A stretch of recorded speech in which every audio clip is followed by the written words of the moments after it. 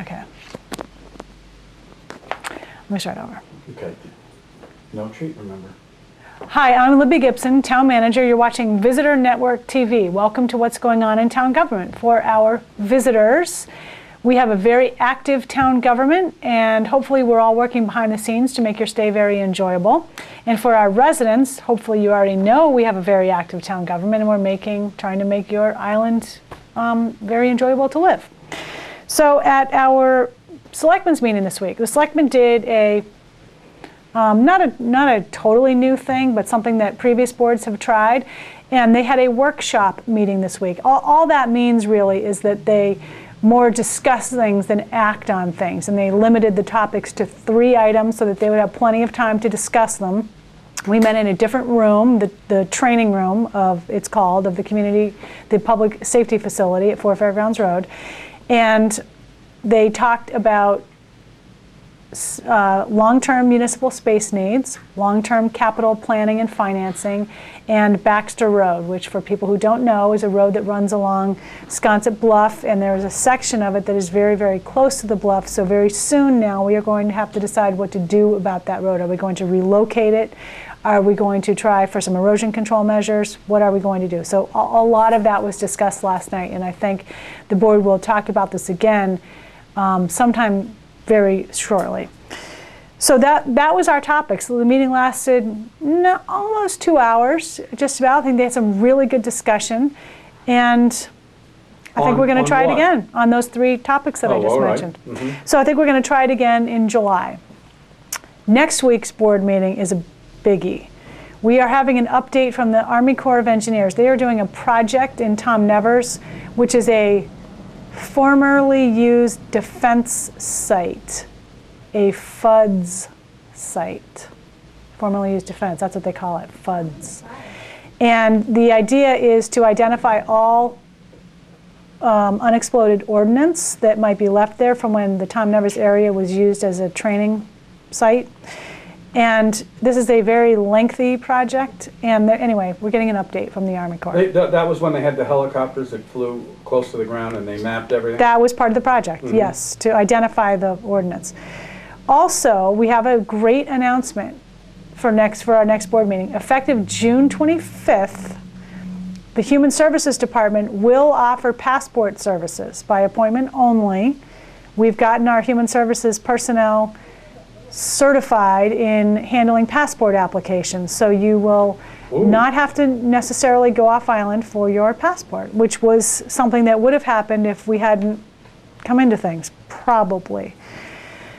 In any case, Tuesdays and Thursdays, it looks like, from 2 to 4 at the Saltmarsh Senior Center, effective June 25th, again, will be when you can start going to talk about your passport application.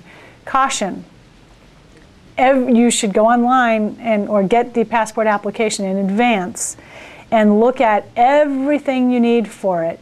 Don't try to go in with incomplete information like, "Oh, you know me, don't you? I don't need my husband here." You do. You need to do it exactly as written. Okay? So bear that in mind. And don't try to go like with some stuff you think you might need for the application. You need to go with the stuff that you do need for the application. I, I speak from experience on this.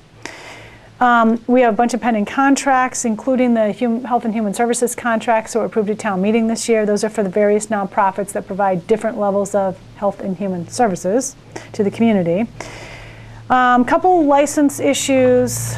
We have a couple of resignations. We are hopefully getting a little bit of a presentation from our Agricultural Commission. A couple of property things. The Planning Commission transportation planner is presenting the TIP program for fiscal 13 through 16. I wonder if that's supposed to be 14 through 17. Circle that. To the board. This is an annual presentation. TIP means Transportation Improvement Program, and it mostly relates to bike paths and things like that. We have a bunch of public hearings, a couple of telephone petitions.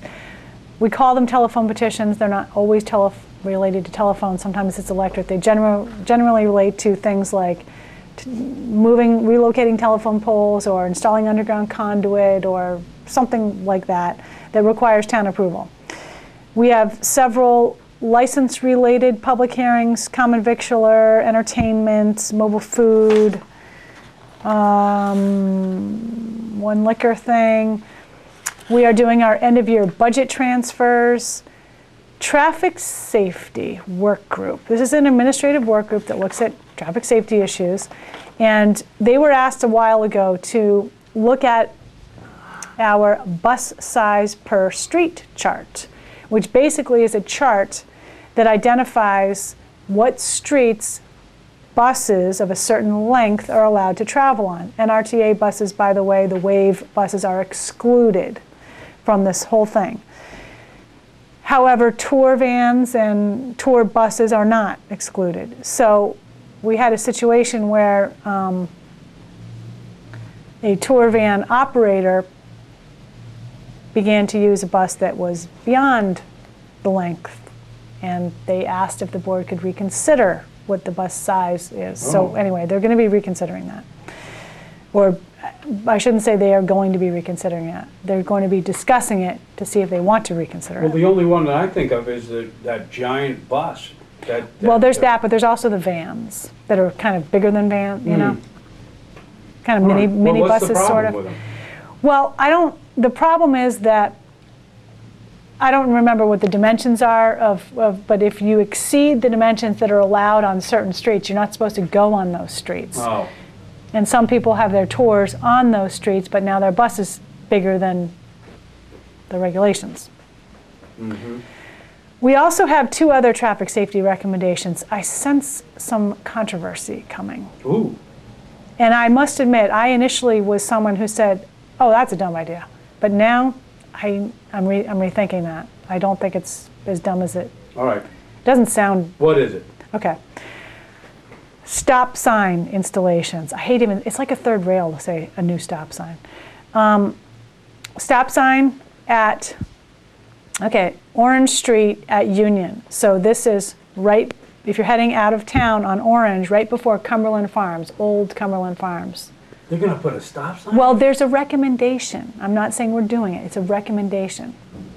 Now, think of yourself in your car on Union Street and you have to stop at that stop sign. People come barreling down Orange Street if you think about it. And often there's a little bit of a sight um, issue. You can't always see them. I mean, I have cut off cars Well, wait a minute. a few times. You initially thought it was a bad idea. I did, but now that I've thought I about think it, it's a bad idea. well, but That's initial. I give you a- some, ad- I right. ask you to do this. All When right. you're on Union Street next, stop at that stop, think about what it, if you think it would be better to have a stop sign on, or, on Orange. The other one would be at um, Washington Street at Francis. Okay? Oh, yeah. I don't know. We'll see. We're gonna we're gonna have a discussion about it. If Keep you if you moving. well, here's the thing. Um, if you look at uniform traffic regulations and traffic codes and things like that, it's very unusual to have these particular setups that we have. Now we're used to it, and it's a Nantucket thing, I know, but they're not really normal. Anyway, I so Yeah. try to have an open mind. More, more discussion next week. I know I am certain that if Nat Lowell is watching this, he is like screaming by now. Right. Calm down, Nat. Just calm. Well, didn't we bring him up last week, too?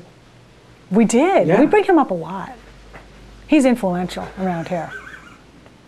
I get a lot of advice from that. Very good He's advice. full of, he's full of gas, that guy. He's got, ha ha ha, because he works for a gas company.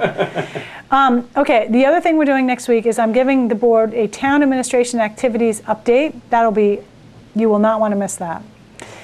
The board has, is going to be hearing, I think, this is, I think this might be slightly tentative, hearing from the Harbor Plan Implementation Committee as to their final report. I think they're about to be disbanded uh, voluntarily.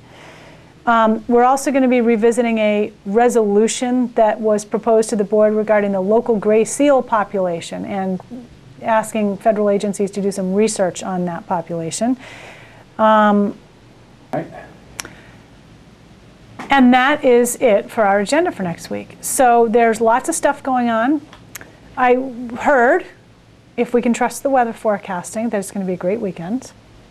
Not today, Thursday, Right. and maybe not tomorrow, but hopefully Saturday and Sunday. are Going to be great. Oh, I can't believe I forgot this.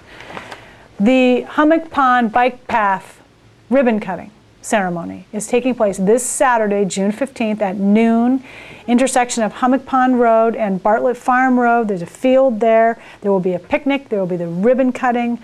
There will be helmet giveaway, bike path things. There will be a couple of speakers. Brief. We're going to keep it brief with a lot of thanks to all the people that can participated in the in the development of this project. So that is very exciting. The picnic is going to have hamburgers and hot dogs, drinks. It's going to be really great.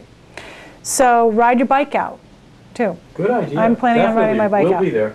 If- It's gonna be a beautiful day. It is supposed to be a beautiful day. Right. The clean team this week Oh. is, I believe, at Fairgrounds and Old South. So I think you park near the Rotary area. And in and out, one hour, eight to nine. That's it. They provide bags, they provide gloves. Um, and it's a really good deed for Nantucket. And Old South Road Bike Path, Fairgrounds maybe too, but Old South, there is a heck of a lot of trash on that bike path, and it is disgusting. So, people, a sh- we, we would obviously we wouldn't have to do this if they stopped littering their gross trash everywhere. Yeah. But it's a really good thing to help clean up your island. So that's where they are this week. They're also always downtown in the summer on Saturdays in the Grand Union parking lot, right in the in the first aisle as you come in, right on the left. There's usually um, someone there, Peggy Trampash. She's an incredibly dedicated volunteer, and she's got bags and gloves too. And you, she sends you out downtown to Well, clean up. Yes. So, Okay. any you got any questions? Are we doing that other thing or? Okay. Some- Yeah.